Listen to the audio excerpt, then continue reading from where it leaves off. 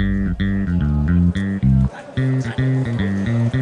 Mozilla Festival is an annual event bringing together a thousand developers, designers, educators, journalists, people that are interested in promoting the open web and learning and hacking together in their different disciplines and across disciplines to make the web a better place.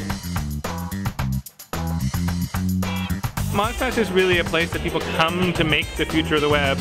And so we've got people here hacking together software, hacking together badges, hacking together new learning materials, uh, and there's a thousand of them.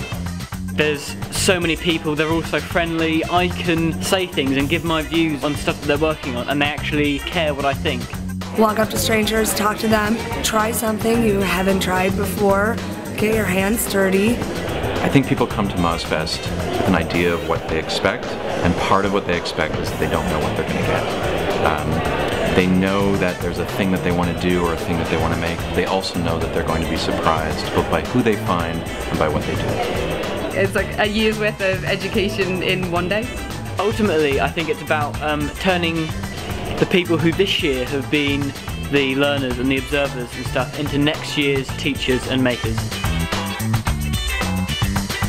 Said, you know, I'd really like a high angle camera shot here. I'd like to be able to get up above the stage. All the balconies are around this side. I can't get over here. So I brought a blimp this year.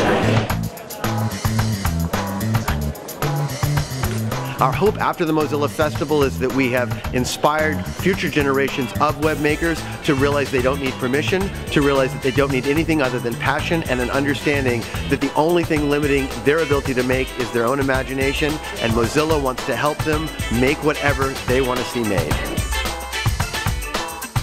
The key component of what we do is, is openness and happiness.